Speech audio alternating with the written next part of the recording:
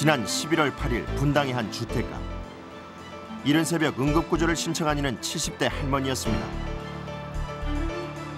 여보세요. 네. 저 지금 여기 지금 일인 시원한테 막 가슴을 들고 잡아갖고 네. 허리가 일어날 수고 지금 병원에를 가야 하거든요.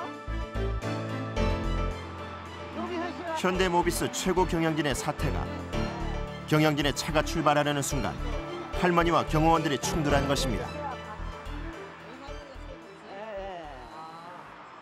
그러면 아니 쓰러진 걸 못 봤는데 차가 여기 와서 있더라고. 112 차가. 근데 차 나올 때 이제 할머니가 저기 차 나오는 거 보면 이렇게 여기로 올라가면 미리 이제 여기 들어오기 전에 경호원들이 이제 이 저기 저기 사고 안 나던 거야 경영진을 만나기 위해 새벽마다 차를 가로막고 선지 한 달.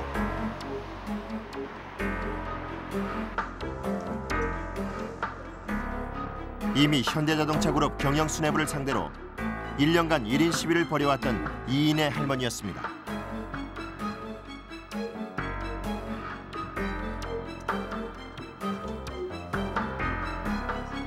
그날 이후 한 달째 입원 중인 이인의 할머니. 6인 병실에 누워 하루 종일 찾아오는 사람 하나 없는 72세의 할머니.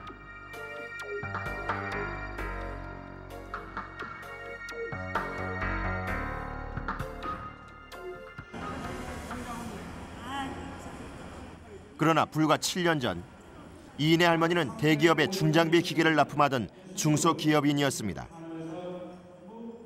이제는 영실군의들이 정신산업도 유망 중소기업으로 자리 잡을 수 있도록 시설과 장비 기술 모두 다 갖추었다고 생각합니다.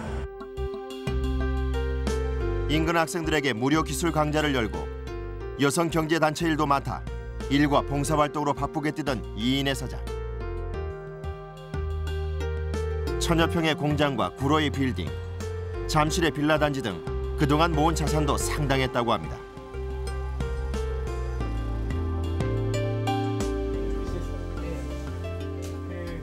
제가 다른 게 아니고요. 그 앞에 처음에 사업할 때 예. 50만 원 가지고 했다고 그랬죠. 저 전기밥솥 있죠. 저 전기밥솥이 우리 여기 옆이에요. 야, 예. 예전보다 그랬잖아요. 조금만 더. 좀 아, 근데 저쪽 이런 목소리 이제 예. 여자 목소리가 안 나오고. 예. 엄청 여장부였대요. 예. 웬만한 남자들은 뭐 예. 이거지고 이제 이 정도였대. 그러나 할머니의 삶은 7년 전 한 달 만에 송두리째 날아갔습니다. 대체 할머니에겐 무슨 일이 있었던 걸까요?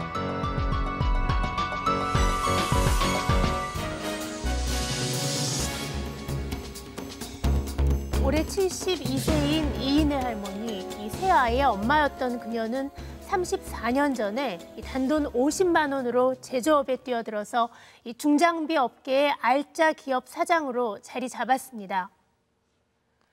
그런 할머니에게 대체 무슨 일이 있었던 걸까요? 왜 이 할머니가 이 국내 굴지의 대기업 최고 경영진에게 1년째 1인 시위를 하고 있는 걸까요? 이 대기업과 싸우는 이인의 할머니의 사연을 박건식 PD가 취재했습니다. 이인의 할머니를 처음 만난 건 지난 1월 15일. 한 번 주저앉은 할머니는 쉽게 일어나지 못했습니다. 병상의 할머니에게 중장비 기계를 만들며 현장을 호령했을 여사장의 모습은 상상하기 어려웠습니다.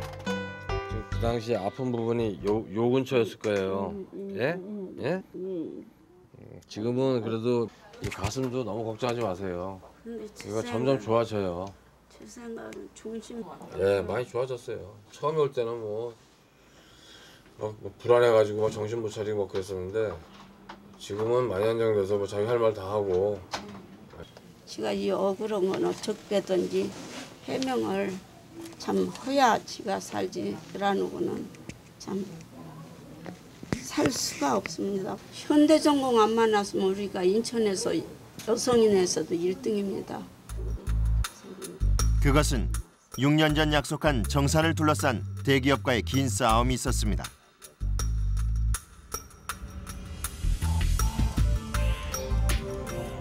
인천 남동공단에 있는 구 정신산업 공장. 지금은 인쇄 공장이 됐지만 이 공장을 직접 지어올린 이가 이인의 사장. 현장엔 정신 시절 흔적이 곳곳에 남아 있었습니다.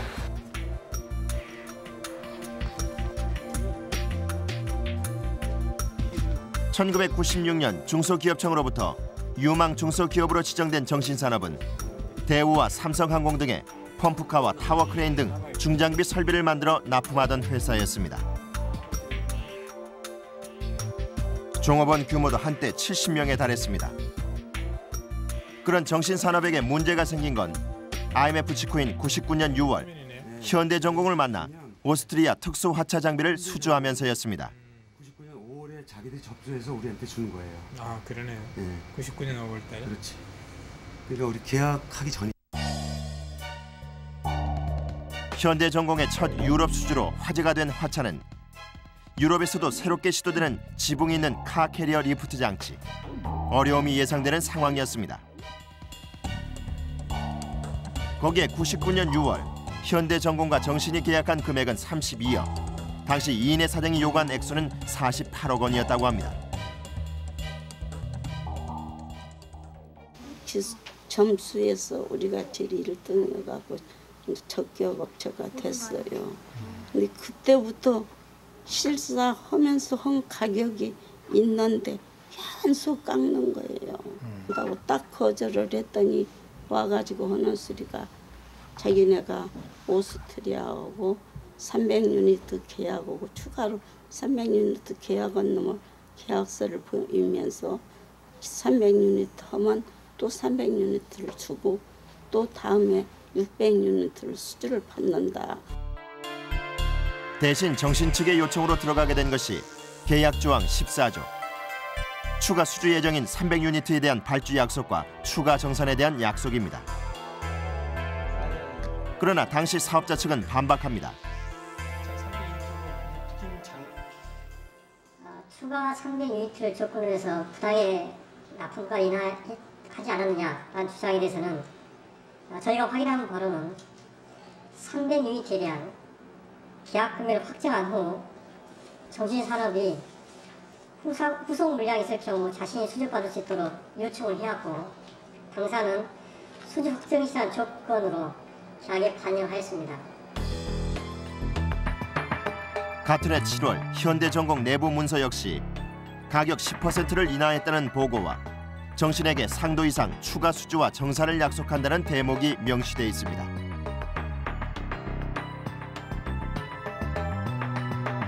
거기에 계약금 지급도 없는 계약이었다는 것입니다. 선수금 분명히 나갑니다. 아 그래요? 정신으로 나간 걸로 알고 있어요. 아 선수금이? 모르겠어요. 아이고, 그 저건 예. 내가 정신이랑 그쪽 계약이기 때문에 음, 많이 안 줬다면 그건 큰 아마 관례 중에서 큰 이수죠. 왜 그러냐면 부도를 자초하는 거죠. 아. 돈을 줘야 원자재를 들어올 거 아니겠습니까? 그러나 보다 근본적인 문제가 나타난 것은 제작이 시작된 후 지금 사진에서 보시는 이 물건이거든요. 예. 이 물건들이 이렇게 불량이 나는 겁니다. 아 이게 지금 불량이 나는 예, 거예요? 이건 쓰다가 불량이 난 상태고 예, 여기 보면 기술 설계 변경서 이렇게 해서 매번 바뀔 때마다 보면 이제 원래 그 제로 상태고 한 번, 두 번, 세 번, 네 번, 다섯, 여섯, 일곱 번이 바뀌었다는 얘기입니다. 현대에서 우리한테 보내는 겁니다.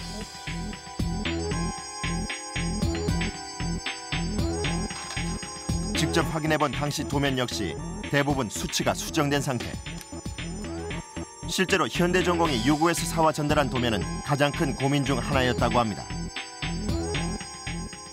그 도면을 또 거, 거기서 플라스틱 사왔대요. 그러면 사왔으면 삼성 같은 데는 자기들이 연구실에서 다 확인해가지고 왕국에 맞는 걸 확인하고 그렇게 하청 업체에다가 계약하고 주는데 이들은 시간이 촉박하다고 그 도면을 갖다 직접 우리를 준 거예요. 당시 유고를 오가며 부품 수입을 담당했던 이 씨. 또 하나의 그 거기다 그 악재의 문제점을 보면은 이 도면이 그 카캐리어 미클의 종류도 여러 가지가 있어요. 그 소나타를 하면 소나타를 만든 도면이 나와야 될 거 아니겠습니까? 그러니까 난생처럼 만드는 거거든요. 거기다가 전쟁이 일어나고 있는 상태에 브라스토바랑 스에서 그림을 그렸고 요거가요? 유고가요 그때 당시에 그러니까 손으로 다 그린 거죠. 그걸 일일이 들어다가 현대에서는 다시 캐드로 집어넣어갖고 돌리는 겁니다. 그래서 이 도면 자체가 맞질 않았어요. 2000년 8월에는 추가 정산액이 28억이 넘으며 본래 공사비인 32억 원에 육박했다는 것이 정신 측의 입장입니다. 그리고 액수만큼 추가 정산을 둘러싼 정신산업과 현대전공과의 갈등도 커져갔다고 합니다. 결국 문제가 터진 것은 2000년 7월 15일 이인혜 사장의 정신산업은 갑작스런 1차 부도를 맞았고 불과 한 달 뒤인 8월에 최종 부도 처리됐습니다.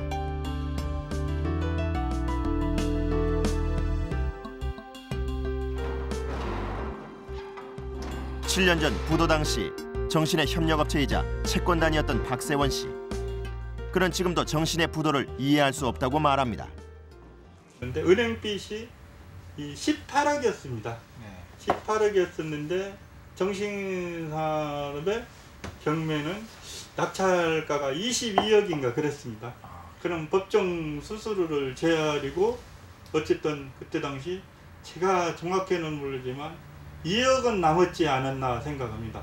어, 경매 이렇게 보면 돈이 남는 회사는 보지 지- 정신산업 처음으로 본 것 같아요. 채권단인 박세원 씨가 확인한 부도 전 이인혜 사장의 자산은 만만치 않은 액수였다고 합니다. 대표적인 구로동의 7층 빌딩. 거기 요즘 한 시가라면 얼마 정도? 시가로 한 뭐 한 100억 정도 되죠. 아, 100억이요? 네. 어, 건물이 이 주변에서는 괜찮아 보여요. 제일 괜찮은 건물이에요. 천여 평의 공장 외에 잠실에 빌라 두 동도 있었습니다. 빌라는 동이 두 동인데 요렇게 저 안쪽으로 요렇게 두 동이 앉았죠. 그러니까 대지가 두 개 합하면 160평 되는 거죠. 그리고 시가로 따지면 그게 음, 40억이니까 20억씩 20억씩. 그러나 부도가 나자 한 달 만에 잃은 재산들이 돼버렸습니다. 이게 되게 힘드시겠요 부도가 얼마 때문에 부도 났다고? 1억 4천 때문에 부도가 났습니다. 1억 4천. 어. 이 정도 자산가인데 네. 억울, 이상하네. 네, 억울한 일이라고 생각하죠 사람들. 우리가 객관적으로 봤을 적에는 이인의 정신산업 사장은 너무나 억울한 일이라고 생각합니다. 1억 4천을 어, 너무나 또 안이하게 생각했는가 어땠는가는 모르지만은 너무나 억울한 일이라고 생각하죠. 1차 부도가 발생한 것은 2000년 7월 15일. 수백억 자산을 갖고 맞은 어처구니 없는 상황을 이 사장은 전혀 예상 못했다고 합니다. 그날은 현대 전공이 약속한 수금일이었다는 것입니다. 그래서 이제 그는 받아서 그는 막으려고 수금하러 간게 오라고 해놓고 책상 밑에다 다 구두 벗어놓고 경리가 10시 반에 간 게 없더래요. 안 나타난 게 경리가 인천까지 온 게 5시 돼버린 게 수금을 못 해가고 1차 부도가 나버렸어요. 예, 전혀 근거 없는 이야기입니다. 그래서 우리가 통상적으로 이게 7월 말에 대금을 지급해 줘야 되는데 정시에서 어, 급하다고 하기 때문에 제가 땡겨서 오히려 7월 18일 앞당겨 준 겁니다. 한때 이인혜 사장이 소유했던 잠실 빌라. 온통 쓰레기 더미로 가득 찬 옥탑방.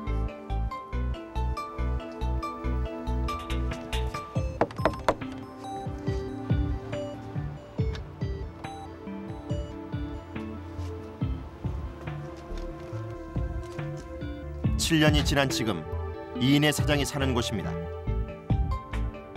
이번 전 이인혜 사장이 손녀를 돌보며 머물던 세평 남짓한 옥탑방. 그곳 구석구석 자리를 차지한 것은 다름 아닌 서류였습니다. 그 외 생활비는 그냥 할머니가 계단 청소해가지고요. 그 돈으로. 현재 입원 중인 할머니를 대신해 친구가 일거리와 손녀를 돌보고 있었습니다. 우리 아이고 이렇게 이 공장을 34년이나 하셨던 분이 이렇게 거지같이 살고 계시니 그 아래 지하실.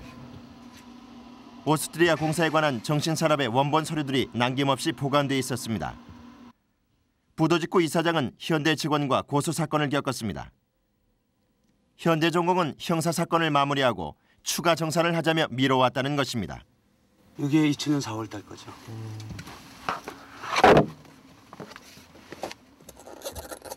그러면 다 이렇게 모두 합격을 시키는 겁니다. 합격을 받는 거죠. 이인혜 사장은 지난 6년간 정산을 요구할 자료를 꼼꼼히 챙겨왔습니다. 그러나 현대전공의 후신인 현대모비스는 이 요구에 대응하지 않았고 이인혜 사장은 현대자동차 그룹 회장을 비롯한 책임자들에게 무려 1년간 1인 시위에 나서서야 기회를 얻을 수 있었습니다. 너무하는 거지. 만들어놓은 기차는 오스트리아에서 5년을 돌고 다니는 돈을 34억을 안 주고 올해 이제 8월 달에 그 박정인 부회장께서 그 자리를 만들어 주셔가지고 현대 사옥에 뭐 12명 정도 이렇게 모여서 회의를 할 때도 저희들 입장에서 충분히 설명을 하- 하고 다 공감을 했어요. 아, 이 중소기업이 그래 그때 당시에 어쨌거나 상당히 그 문제가 있었던 공사긴 하다. 그 공감을 하면서도 결론에 가서는 어, 뭐 금액을 지금 와서 누가 책임지고 그걸 줄 수 있겠나 이런 부분 때문에 그 한 발자국도 그 이제 본질은 진전을 못하고 그러나 석 달의 추가 정산 작업은 결국 결론을 맺지 못했고 로템 측은 대한상사중재원에 채무 부존재 확인을 청구한 상태. 로템은 2000년 4월 21일 작성된 수정 계약서를 근거로 추가 정산은 없다는 입장입니다. 그러니까 그 부분이 설계 변경이나 저희 로텐 기책에 의해서 추가 발생된 비용에 대해서 4월 20일 일자 그 거기에 전부 다, 다 반영이 되어 있습니다. 그리고 그 정신에서 기책에서 잘못 잘못한 것들 또는 그쪽 요청에서 수정한 것들 거기까지 저희가 저희 비용으로 정산 해결할 의무는 없다고 봅니다. 저희가 원 도면이 있는데 원 도면이 있는데 정신에서 기술력이 없어요. 그러다 보니까 그걸 못 만듭니다. 그래서 그걸 저 만들기 쉽게 스펙을 완화해달라. 그렇게 설계, 그래서 설계 변경 요청을 합니다. 그러나 그런 부분까지 우리가 돈을 지불해야 되냐. 어떻게 된 일일까? 이인혜 사장은 하도급 보증서를 끊기 위해 상호를 바꾸는 과정에서 일어난 일이라며 항변했습니다. 계약서고 세금계산서고 다르면 이걸 안 끊어주는 거 전혀 모르고 보증만 하나 쓰란 게 조경이 데리고 같이 갔습니다. 내용 변경에 대해서 설명을 한 적이 있는지요 그 직원이? 네, 아니 전화로 똑같은 조건으로 이름만 철도 차량으로 하면 보증서만 끊으면 되는 거 아닙니까? 다 끝난 거. 그래서 그래라 그렇게 지가 대답 한 겁니다. 집사줄 지가 또 쏙 뺐지 않습니까? 우리가 왜 정산할 돈이 오- 엄청난데 내 돈 들어가고 정산도 안 해놓고 10원도 정산도 안 받고 정산을 혀- 헌다수를 쏙 빼갔습니까? 먼저 99년 6월에 계약서에 들어있는 14조와 추가 수주 확정 시 발주와 소요 자재에 대한 추가 정산이 들어 있습니다. 반면 2000년 4월 21일에 작성된 수정 계약서에는 14조 중에서 소요 자재비에 대한 정산 부분만이 빠진 것입니다. 더불어 정신의 주장에 따르면 로템 측이 더 강한 증거로 내세운 문서가 있습니다. 추가 정산을 포기하겠다고 적힌 서류는 이인의 사장의 직임만이 찍힌 확약서였습니다.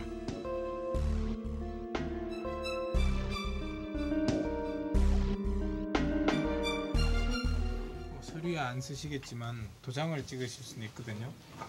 그러면 이런 도장을 왜 찍습니까? 그래서 정산도 안 두고 이때 반절도 거의 안 들어갔을 때요 물견이요 물견 눈이라고 정신이나 지압박스를 자기들 하던 것이 3월 달에 쌓두라서 그때 막 물붕에서 물견이 들어갈 때이기 때문에 정산이 될 시간도. 음. 그럼 이 도장에 대해서는 어떻게 생각하시는지? 완전 가짜로 만드는 거죠 자기들이. 정신 측은 로템에 수없이 원본을 요청했다고 합니다. 로템 내부 보고서에도 원본 없음으로 기록된 이 문서. 2주 전 정신 측은 전문 감정소에 이 확약서의 감정을 의뢰했습니다. 이인혜 사장의 직인과 비교해 위조 여부를 알아보기로 한 것입니다. 위조 판단의 기본은 원본 서류, 그 차이를 감안한 결과입니다. 제일 중요한 게 이제 이 인곽이라고 그럽니다. 이 부분이 인곽인데 이 외부 인곽, 내부 인곽인데 외부 인곽이 즉 5번 선에서 세로선 5번 선으로 쭉 똑같이 내려가는데 즉 위조됐다고 주장하는 인형에서는 5번 선에서 밖으로 쭉 나가서 크게 나타나고 있습니다. 이 산자에서 아자 가로 아자 획 아자 획이 4번 선에서 위로 약간 위로적인데 4번 선에서 이건 많이 이 4번 선에서 많이 떨어져 있습니다. 위조됐다는 도장에서는. 예. 그래서 이제 우- 위조됐다는 도장이 더 크고 위치도 틀리고 그렇다는 이야기입니다. 예. 예, 모양 자체가 다르고 위에도 시읒자에서 가로획인데 가로획에 가다가 말았는데 여긴 완전히 꺾어져 있고 예. 또 사, 회사 할때 회사 할 때 사자인데 사자 중에 아자입니다. 아자에 회전되는 획이 이, 저, 이 획은 그래도 직각에서 약간 벗어났습니다만은 이건 많은 많은 이 벗어났습니다. 예, 이, 그렇다면 이 두 도장이 다르다라는 가능성이 한 몇 퍼센트 정도 있을까요? 퍼센테이지로 얘기하면 지금으로 봐서는 어쨌든 지금으로 봐서는 완전히 다른 겁니다. 상이하다고 판단은 했습니다만은 원본으로 꼭 한번 다시 해야 될 것 같습니다. 그렇게 되면 원본이 그 훼손되면 어떻게 됩니까? 원본이 없다 그러면 솔직히 이게 문제가 있습니다. 문제가 있기 때문에 원본이 없는 겁니다. 그렇게 주장을 합니다 지금. 문서 감정 결과에 대한 로템 측의 반응은 예상 외였습니다. 4월 20일자는 본인이 이 확약서를 쓴 일이 없다 이렇게 주장을 하거든요. 혹시 원본을 로템에서 갖고 있습니까? 아, 그 부분은 정신에서 그걸 작성해서 팩스로 보낸 걸로 제가 확인했습니다. 정신에서 작성해서 예, 그, 예, 확약서를 말씀하신 거죠? 확약서는 보통 이렇게 원본이 오는 경우도 있고 계약서 좀 같이 이렇게 해서 후사는 부분도 있고 또 견적서나 이런 부분은 예, 팩스로 이렇게 많이 하지 않습니까? 그 팩스로, 받- 팩스로 받았기 때문에 당연히 원본이 없겠죠. 팩스가 사실 원본인 거죠. 그 팩스는 남아 있고요. 그 사본이 그때 당시에 아마 중재하면서 어, 제출된 걸로 알고 있습니다. 그 팩스 번호도 거기에 실려 있겠네요. 그건, 그건 잘 모르겠습니다. 그게 왜 중요한지 모르겠는데 사실 저희는 그 활수는 저희는 그렇게 중요시 않습니다. 저희는 명확한 계약서가 사실 법정 근거지 법적 근거지 화학서는 있으나 없어서 저희, 저희는 관계없어요. 그러나 대한상사중재원에 제출한 중재소송 서류 중 가장 먼저 보이는 증거는 바로 4월 20일의 확약서입니다. 그러나 로템 측이 제시한 자료의 팩스 번호는 보이지 않습니다. 또 확약서를 증거로 이미 정산이 끝났음을 주장하고 있습니다.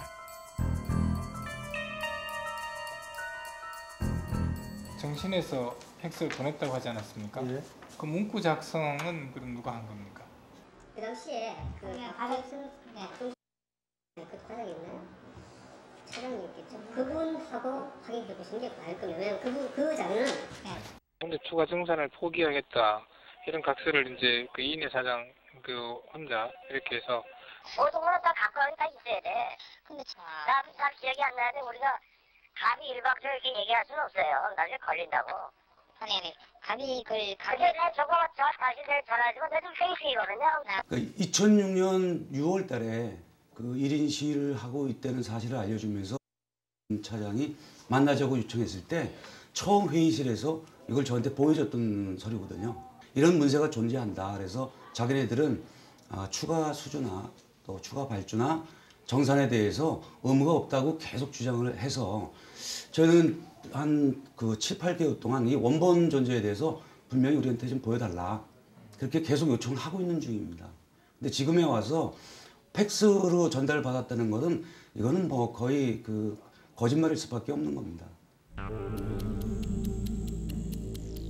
확약서를 둘러싼 진실은 과연 무엇인가?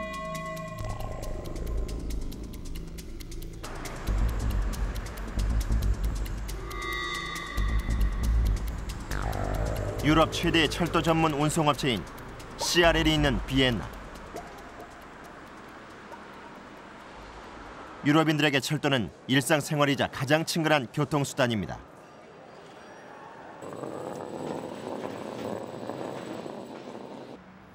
제작진은 2000년 당시 한국이 만든 차량 운송 특수화차를 확인하기 위해 의뢰자였던 CRL을 찾았습니다.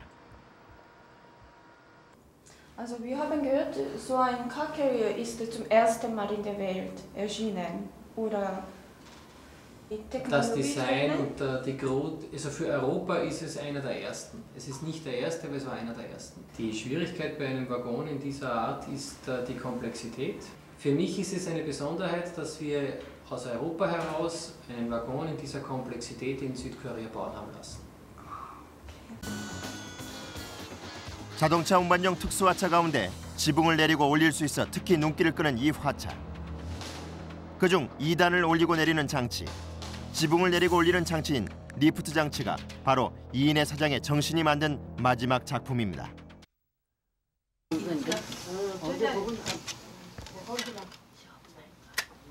오스트리아에서 구한 특수화차의 영상을 이인혜 사장에게 전했습니다. 이인혜 사장도 자신이 만든 카캐리어 완성품을 처음 보는 순간입니다. 예, 예. 저거 두 개가 1080이면 그건 본전도 안 되는 겁니다. 예, 카케리어를 본 게 참, 참 역시 공들인 대로 이쁘고 참 좋다 싶네요. 그 보람은 느- 느껴지지만 보람이 아니라 저걸로 내 운명이 이렇게 바꿔졌다는 거 너무 기가 막히고 목이 베입니다.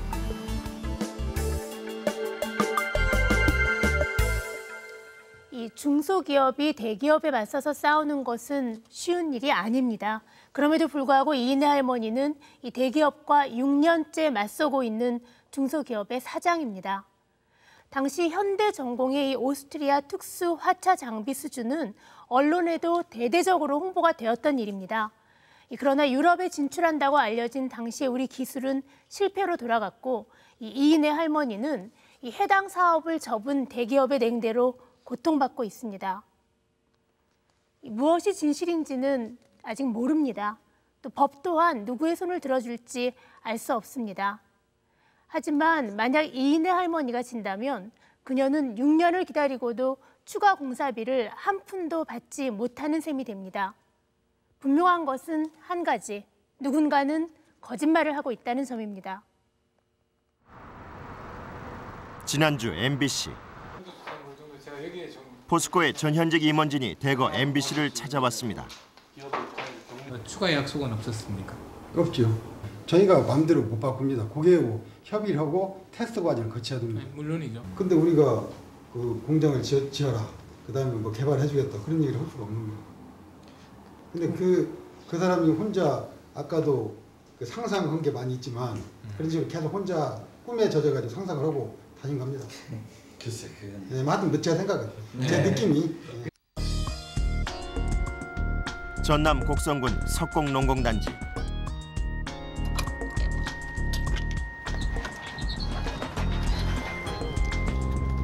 포스코에서 단 27개의 납품을 요청했는데 개의 생산 라인을 갖춰놓고 8년째 민원을 넣고 있다는 이 사람. 포스코로선 도저히 이해할 수 없다는 중소기업 주식회사 오성의 정성훈 사장입니다.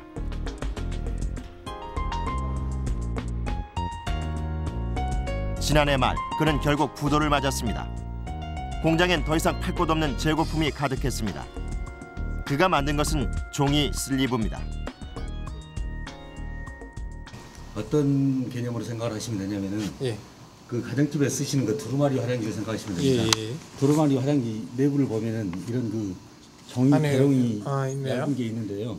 이게 있는 이유가 이 얇은 화장지가 이 원형 상태를 유지할 수 있게 예. 견뎌주게 만들기 위한 겁니다. 음, 그래서 이게 대형화됐을 뿐이지 이 위에 냉연 칠판이 감기되는 겁니다. 이 화장지 형태와 똑같이. 89년부터 포스코와 원천 관계를 유지해오던 정 사장이 종이 슬리브를 알게 된 건 98년 광양제철소 냉연 개발팀이 찾아오면서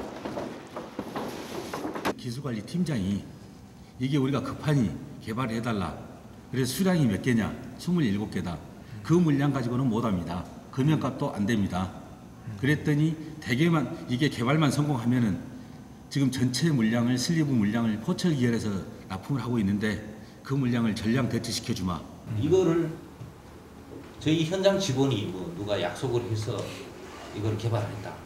저는 이 상식적으로는 구매 루트, 저희 구매 루트나 이런 걸 정상적 루트로 봐서는 납득이 저희 직원들은 납득이 할 수 없는 주장이라는 얘기. 그 27개 남은 다음에는 제품 주문이 없었습니다. 끊어졌습니다. 주문 자체가 없었어요. 그걸로- 그걸로 되기 위해서 통과해서 10년을 포스코와 거래했다면 구매팀과 상의 없이 공장을 짓는 것은 있을 수 없는 일이라는 포스코 팀.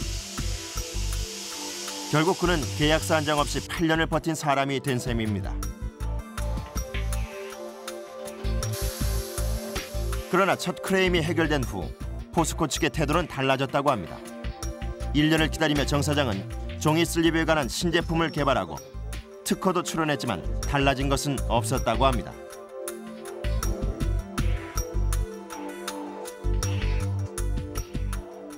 약속을 지켜주십시오 하고 1년 7개월을 매달렸습니다. 그랬더니 저한테 뭐라 그랬었냐. 자 그럼 당신 물건 써줄 테니까 그러려면 이게 소모품이지만은 우리 생산 라인하고 직결돼 있는 부품이다. 근데 양산처제도 안 갖춰져 있는데 뭘 믿고 해주느냐. 공장부터 지어놓고 와라. 그러면 써주마. 이제 없고 공장도 가도 안 되고 2000년 곡성에 공장 부지를 얻어 생산 라인을 갖추는 사이 포스코 직원과 팀장이 현장을 방문하기도 했다는 것입니다.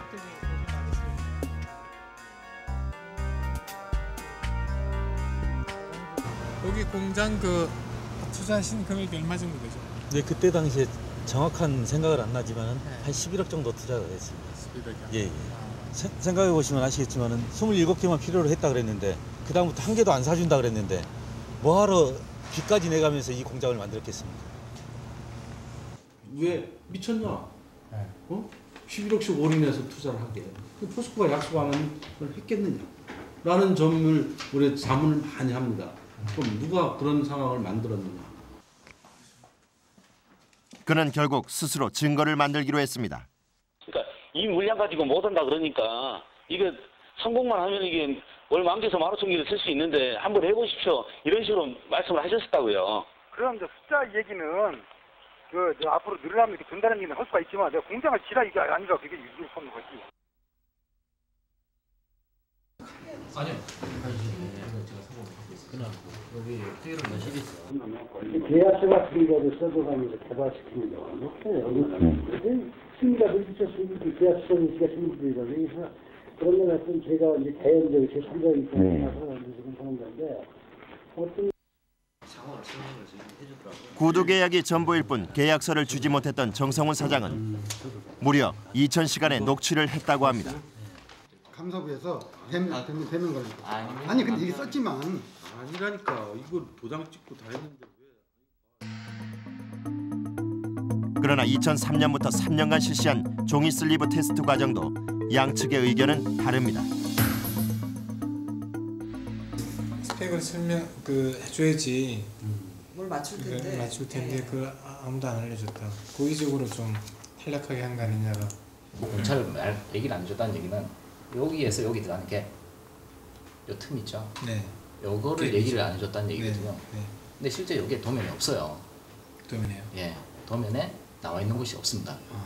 그래서 제가 이걸 가지고 이, 이 실제 상세 도면인데 예. 이건 제가 오성 사장한테 드렸어요. 이런 하트 형태로 킹크가 필요한 사항은 처음부터 알려주고 사인까지 받았다는 포스코. 냉연 부회실이고요.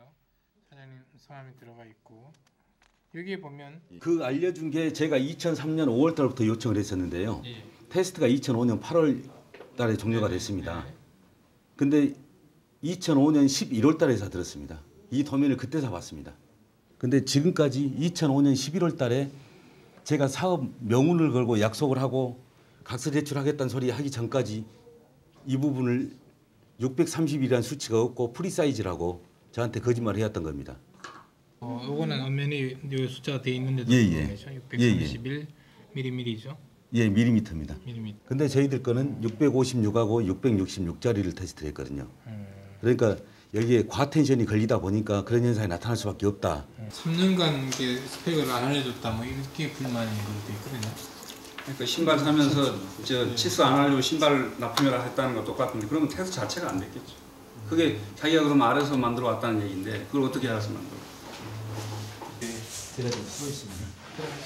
지난해 부도가 난 뒤 집을 떠나 공장에서 머물고 있는 정 사장. 그러나 여전히 상황은 어려워 보였습니다. 이게 힘들다 보니까 연금, 국민연금, 뭐 지방세, 전기세 이런 거 지금 다 체납돼 있는 상태가 지난해 그는 결국 퇴출되고 말았습니다.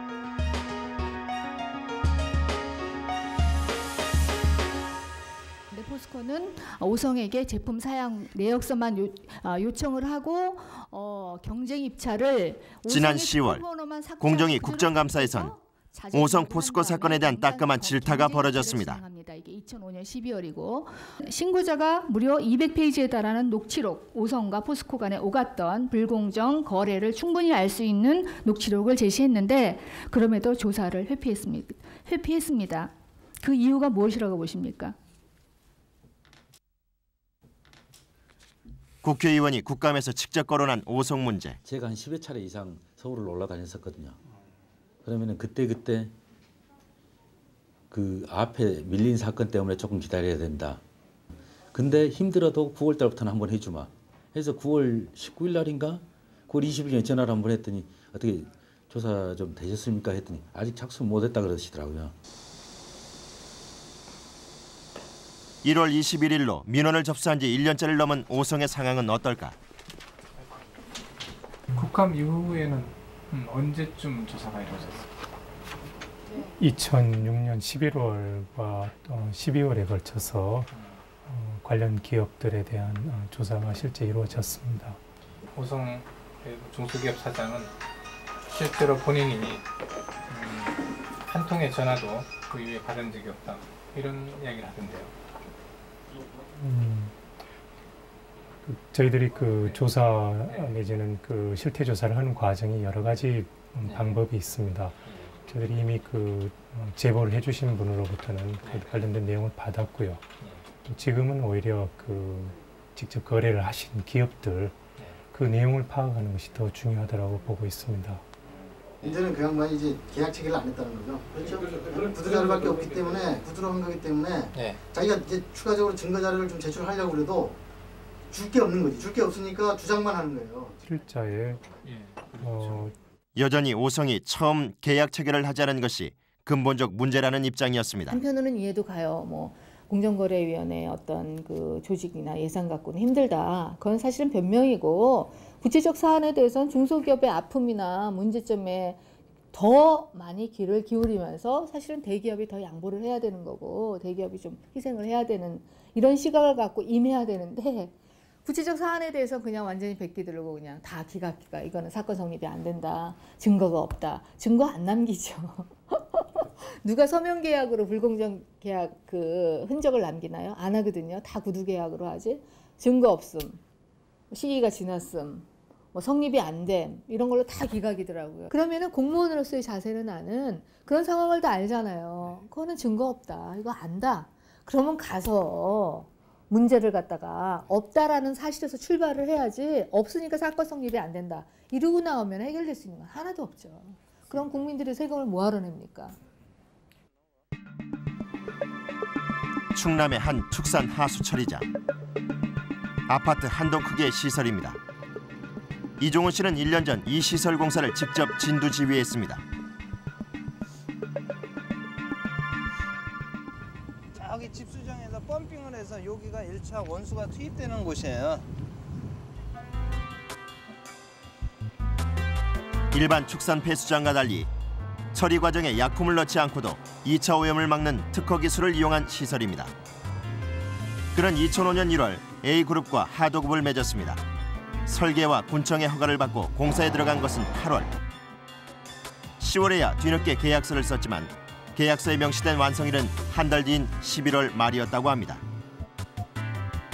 결국 그는 무리한 납기일을 맞출 수 없었습니다. 늦은 계약으로 인해 임금은 밀렸고 세 차례 파업으로 끝내 공사일을 맞추지 못한 것입니다.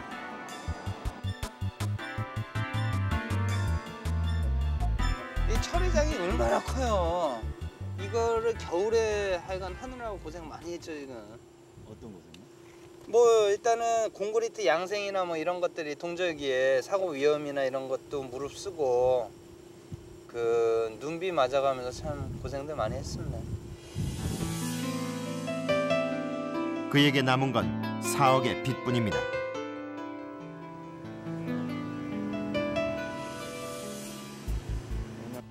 이제 한번 어떤 노무자 이제 반장하고 싸운 적이 있었는데 어, 사장은 잘 먹고 잘 살면서 왜 우리는 안 주냐 전세를 사셨어요. 그 돈을 이제 막 이거 다 끌어들이면서 집 있던 거 팔아가지고 그 돈 갖고 하고 그는 왜 공사기일 한 달을 남겨둔 계약서에 사인을 한 것일까?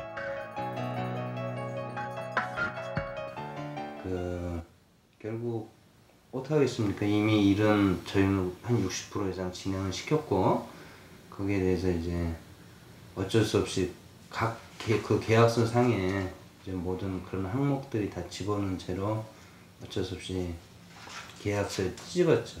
계약 조건에 허무맹랑하게 공사 완료 후에 30% 주고 공사 시운전 끝나고 뭐 6개월 뒤에 다시 그 40% 주고 그리고 1년 뒤에 또 30% 주겠다는 계약서에 도장을 찍을 수밖에 없어요. 그건 말이 안 되는 계약서거든요.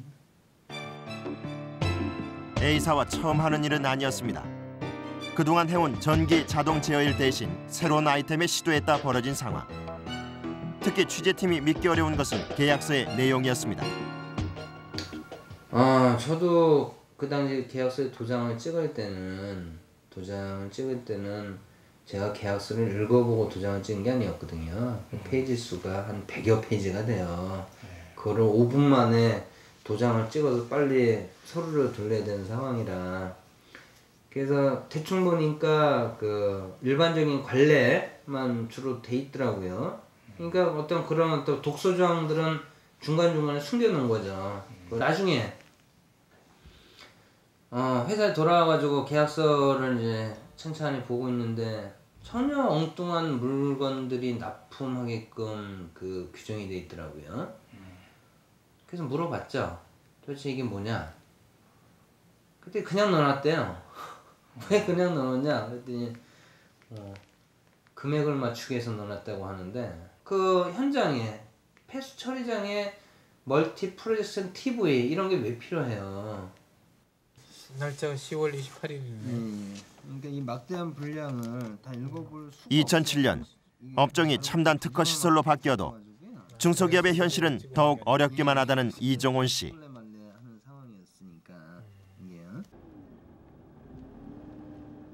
그러나 관련 업체는 전혀 다른 반응입니다.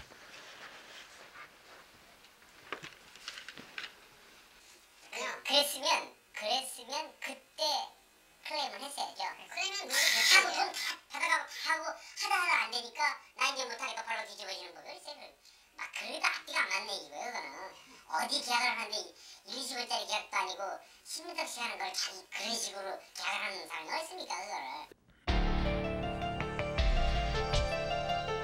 결국 2006년 10월 그는 잔금 1억 원을 남겨둔 채 설비 불합격으로 계약 해지는 물론 향후 2년간 A사와 거래 금지까지 통보받은 상태입니다. 이종훈 씨는 A사를 공정거래위에 고발했습니다. 4억여 원의 빚을 안고 있는 상황에서 그가 법적으로 기댈 곳은 공정거래위원회라고 했습니다. 한 80, 90% 이상 기대할 수밖에 없어요. 왜냐하면 지금 그 대기업하고 중소기업 간 거래에서 이런 부당 행위가 발생을 했을 때 그걸 중재를 해줄 수 있는 곳이 공정위고 또 지금 제가 현재 잔금도 못 받았고 그 다음에 오히려 물량 추가되는 물량에 대해서 정산을 받아야 되는데 오히려 감액 정산을 받아버렸으니까 이런 행위들이 전부 다 불공정하니까 기댈 곳은 그 어디 공정거래위원회밖에 없어요. 그러니까 제가 지난주에도 그 밑에 그 한국 분쟁조정위원회를 갔다 왔는데 거기도 똑같은 말씀을 드렸어요.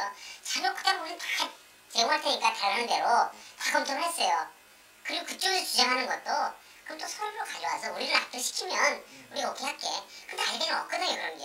없이 말로만 자꾸 저러니까. 대통령과 경제 총수들과의 대중소기업 상생 협력 보고. 대통령과 총수들의 다짐에도 쉽게 바뀌지 않는 것은 결국 현장입니다. 아, 대중소기업 상생협회 기자회견을 아, 실시하겠습니다. 아, 정신산업의 이인의 어, 사장님 나오셨는데요. 아, 현대 모비스에 아, 납품했다가 대금을 6년째 아, 받지 못해서 아, 이인의 할머니의 6년간의 노력은 개인의 힘만으론 어려운 것입니다. 중소기업 사장들의 모임 상생협회에 이어 2월엔 국회 상생특위가 발족될 예정입니다. 하지만 필요한 상생의 조건은 대기업 스스로 상식을 지키는 것입니다.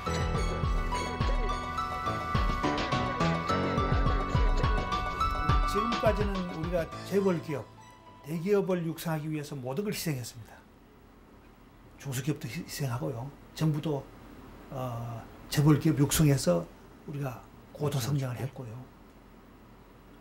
어, 이제 중소기업이 중요하다면 중소기업 육성을 위해서 대기업도 희생하고요. 어, 정부도 거기에 모든 힘을 모으고요. 어, 그런 중소기업의 시대를 만드는 것이 결국은 대기업에도 유리하다. 위원장들은 대기업을 바꿀 방법. 계약서 반드시 써라. 어? 그다음에 이익을 내는데 그래서 중소기업을 죽이는 식으로 가서는 안 되고 그런 가이드라인 같은 거를 그러니까 형식적이 아니라 현장에서 통용될 수 있는 가이드라인을 이제 대기업에 설정해야 돼요. 그런 시점이 저는 됐다고 생각해요. 여태까지 우리가 이 정도의 경제 성장을 하기 위해서 희생되는 부분이 불가피하게 있었다고 한다면 이제는 그걸 고칠 수 있는 단계가 됐고 그걸 나설 수 있어요. 법안 지금 다 있어요. 법 갖고 이거는 무슨 뭐 법 만들고 무슨 뭐 제도 만들면 다 된다? 관행의 문제고 의지의 문제예요. 이 문제는.